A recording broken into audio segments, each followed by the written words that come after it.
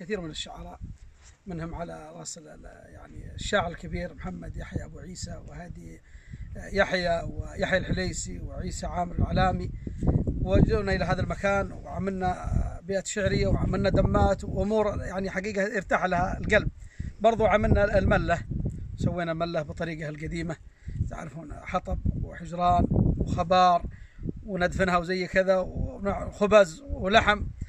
فيعني حقيقة ارتحنا عملنا فعاليات جمعت الكبار والصغار يعني في ليلة أكثر من 70 شخص اجتمعنا. طبعا جازان يبعد عن 170 كيلو وفعاليه هنا. وأنا حرصت أن أعمل فعالية في قريتي لأجمع الشباب وننبسط فيها ونرتاح في الربيع. اولا أهرم من ضجيج السيارات ومن المكيفات ومن نحاول نعيد من الماضي يعني شيء بسيط جدا. فاللي عاشوه الآباء والأجداد و